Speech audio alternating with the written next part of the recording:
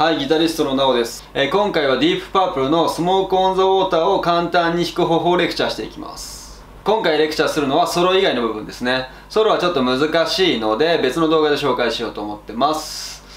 はい、というわけで実際やっていきましょう。ギターっていうのは一番上の弦が6弦で一番下の弦が1弦になってます。6弦から1弦までありますと。今回使う指は中指と親指以外の3本でこの曲は弾けます。で最初に押さえてもらいたいのが5弦の5フレットと4弦の5フレットですね。でまず5弦の5フレットを薬指で押さえましょう。で4弦の5フレットを薬指ですね。でこれを鳴らすとこういう音が鳴りますと。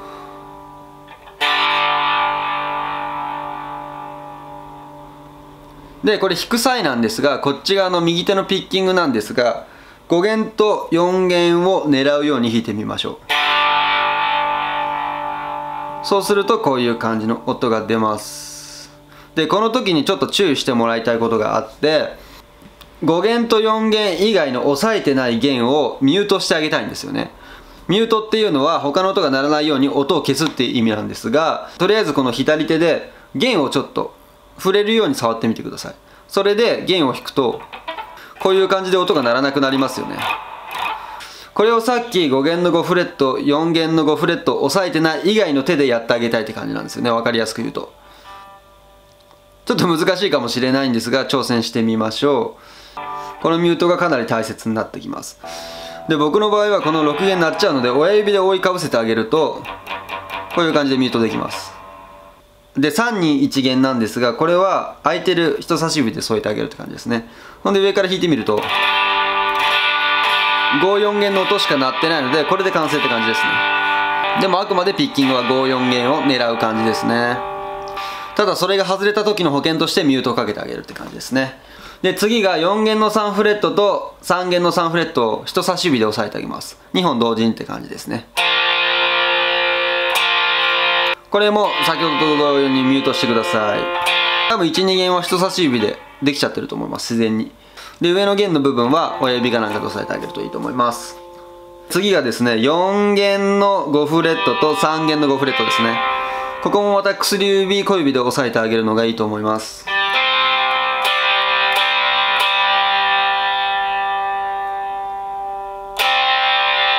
で今出てきた押さえ方を3つつなげてやってみましょう。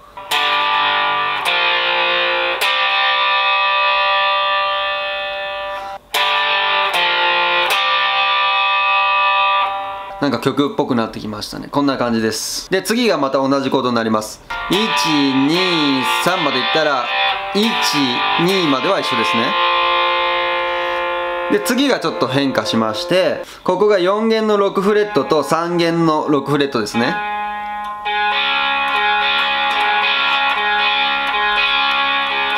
これになります。で4弦の5フレット3弦の5フレットにずれるって感じです。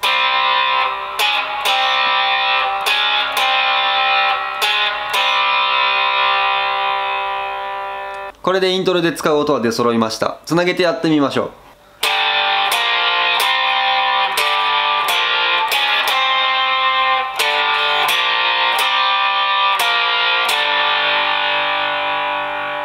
つなげるとこんな感じになるんですがちょっと原曲と違くないって思いますよね。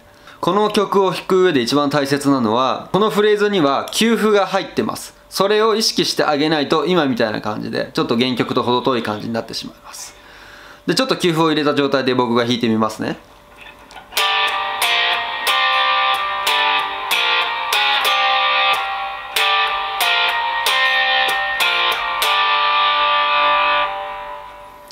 かなり原曲に近づいたんではないかと思います。じゃあこの実際給付を意識してやってみましょう。で給付っていうのは何ぞやってとこなんですが休める音符と書いて給付と書きます。で給付の時って音が全く一切鳴ってない状態です。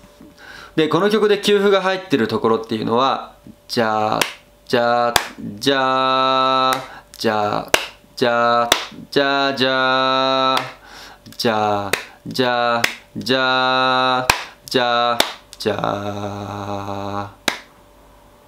今手を叩いたところに給付が入ってます。それを意識してちょっとやってみます。で給付が入ってる位置は分かったけどどうやって弾くのかっていうのは、えー、このピッキングしてる方の右手に秘密がありまして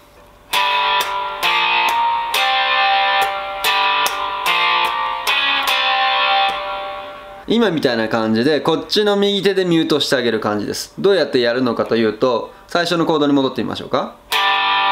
この音をここの右手の腹の部分で止めてあげます。弾いてあげたら一回。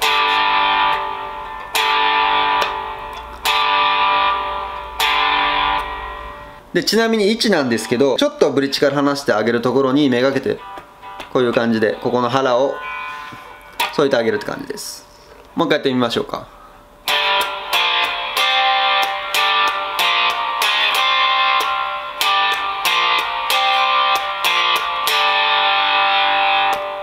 こういう感じで弾いてあげるとかなり原曲に近い感じになります。で今は右手でミュートをかける方法だったんですが左手でもかけられます。一番最初のコードの時に説明したような感じで添えてあげるって言ってたじゃないですか。それをコードの終わり際で押さえてる指をさっきのミュートの状態にしてあげると音が切れますと。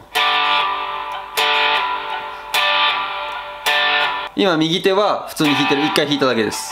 ミュートしてません右手では。左手で今ミュートしてる感じですね。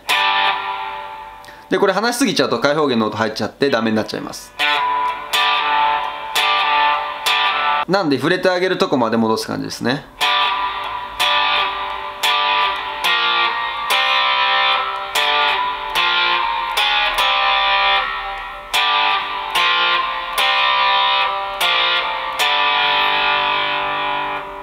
という感じで左手でもミュートがかけることができます。なのでどちらか自分のやりやすい方でいいと思います。ただ右手の方が圧倒的に難易度は低いです。じゃあ次 A メロに行ってみましょう。パワーコードってやつですね。G のパワーコードなので6弦3フレット5弦5フレット4弦5フレット。この指の押さえ方ですね。であとはもう上から順番に6弦5弦4弦って弾くだけですね。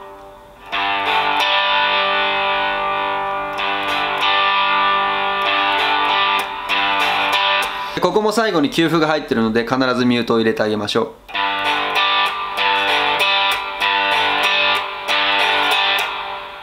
でこの G を6回繰り返した後7回目に F に移ります。でまた G に戻ると。じゃあここまで通しで弾いてみますよ。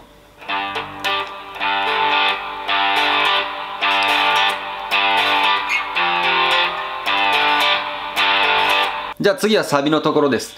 今押さえた G コードの形と指は変わりません。C コードに変わるだけですね。5弦の3フレット、4弦の5フレット、3弦の5フレット。で、ちなみにここは給付が入ってないので、もう弾きっぱなし最後まで。5、4、3。で、次が G シャープになります。指の形は一緒です。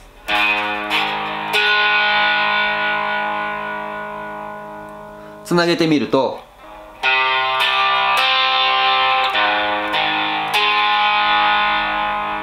次がリフっぽいところなんですがここがちょっと難しいです。ここ単音弾きになりますね。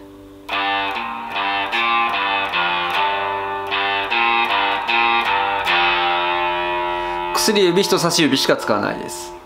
6弦3フレット5弦1フレット。6弦3フレット。5弦1フレット。6弦3フレット6弦1フレット6弦3フレットって感じですね。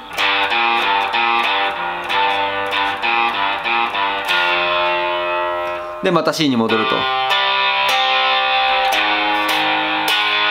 でイントロに戻ります。でここまで通しでやってみるともうギターソロ以外は弾けるようになりましたね。じゃあここまで通しで一回やってみましょう。